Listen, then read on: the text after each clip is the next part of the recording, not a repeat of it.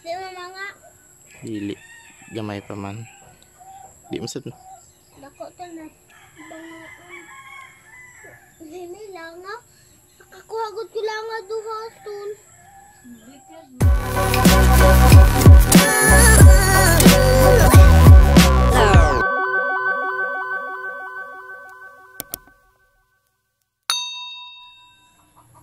Yan po mga kaibigan. Nandito po tayo para mag-rehouse sa ating mga alaga. Kasi nadumihan po yung kanilang mga lagayan dahil sa silong ko lang po sila nalagay at umulan dito sa amin. Matagal-tagal na rin po silang hindi nare-rehouse kasi medyo na busy. Yan po yung ating tarantulang malaki.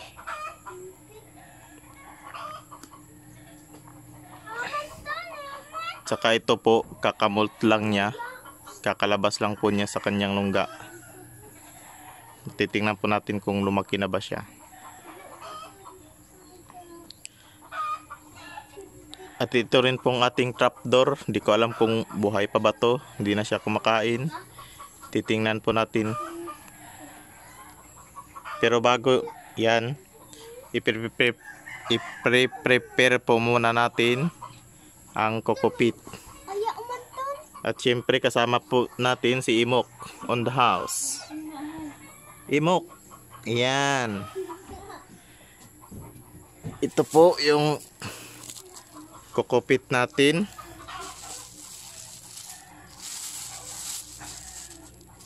May kasama pa po siyang coco fiber at kailangan po natin siyang tanggalin gamit ang salaan. Okay po.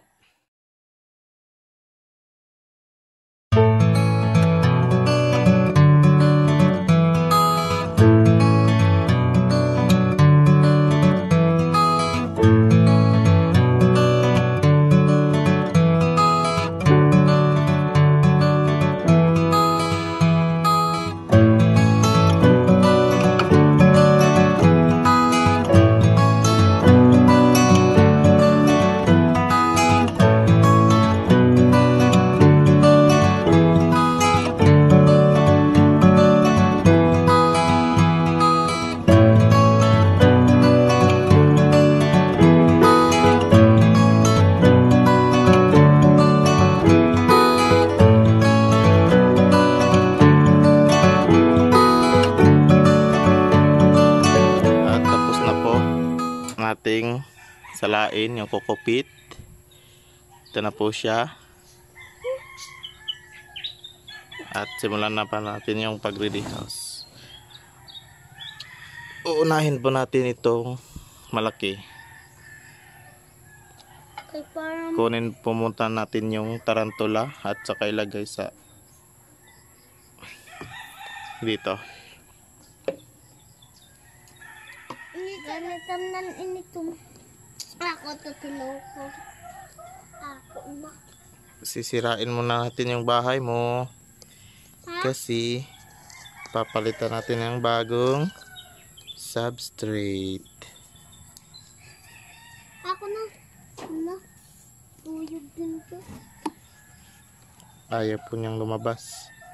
Napaka-aggressive po. Kasi wala na pong kain itong ito. Lumas ka dyan. Hey bro.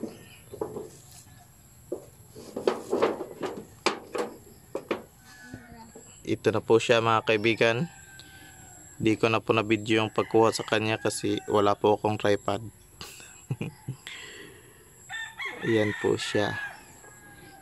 Nasa mga 3, 3.5 inch na ata to siya.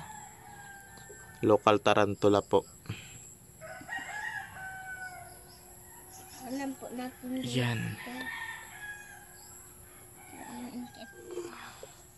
Lagyan na po natin ng kokopit. Kukupit. Kokopit. Kukupit lang abunot. Lagyan natin ng bunot. Tadjabo ako. Tamyan. Tan ka na. Ito na po siya. Nilipat. Nilipat ko na po siya sa kanyang bagong enclosure. Simple lang pong setup na to. Bato lang po yung nilagay ko para sa kanyang hide. Para makita ko lang po siya pag nagpapakain ako. Isunod na po natin yung maliit.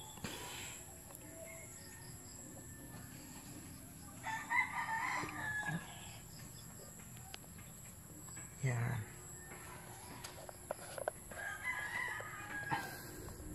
Matagal ko na rin po ito hindi nakikita. Kasi ay may ipis po. Ba't di niya kinain to?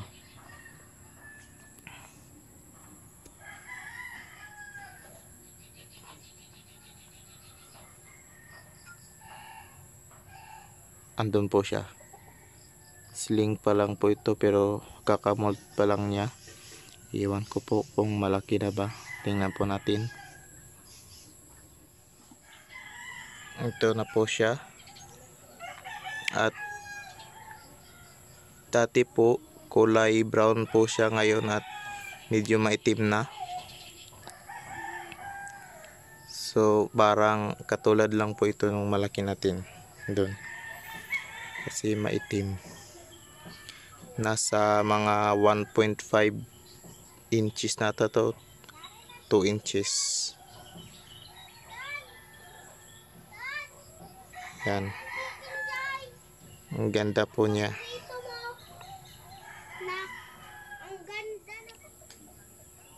Ito na po siya. Bato lang din po yung nilagay ko.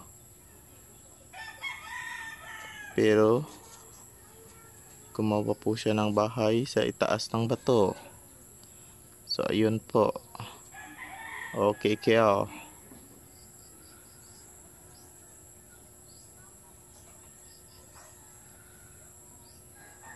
Balak sa buhay mo. At sunod po natin itong trapdoor. Sana po ay buhay pa ito. Nasa loob po nito yung trapdoor, spider. At buksan po natin kung may signs of life pa ba. Mahirap po buksan kasi nawala po yung tweezer ko. Ayun. Parang buhay pa. Yan, kita niyo po. Yan.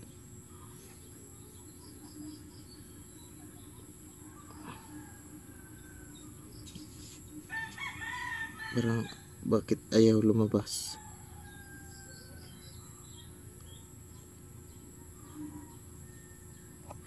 Teka lang po muna. Yan po siya. Di ko po alam kung ba't di siya kumakain. Malaki po yung abdomen niya. Ilang linggo na po itong di kumakain, di lumalabas ng kanyang lungga. Akala ko po ay patay na. So, papalitan po natin yung kanyang substrate at babalik po natin. Ito na po yung ating trapdoor spider. At pumasok na po siya sa ginawa kong pre-made burrow. Ah, pakabukas magsisettle na siya.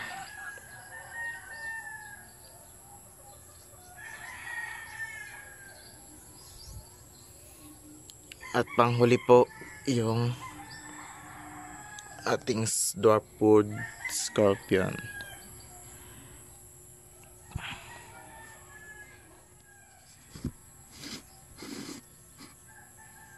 Parang andun po siya. Di pala. Ayan.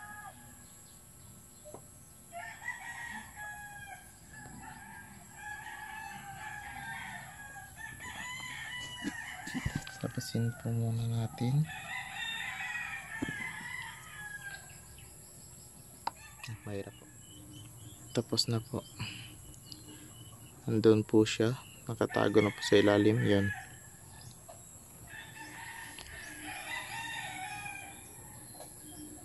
Yan. So, Tapos na po.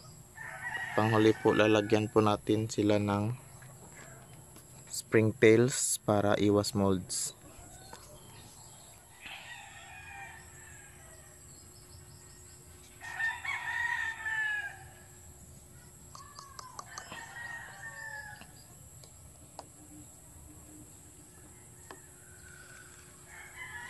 Ito po yung culture nating springtails. Kailangan na po pala natin itong i-rehouse. Baka po sa susunod na video ay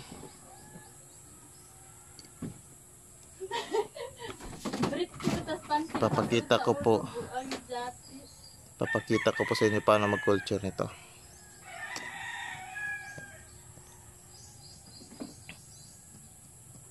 Importante po to sa ating mga enclosures para hindi po mag-molds yung mga tira-tirang pagkain ng ating mga alaga. So, ayan po. Tapos na po. Salamat po sa panonood at mabuhay po tayong lahat.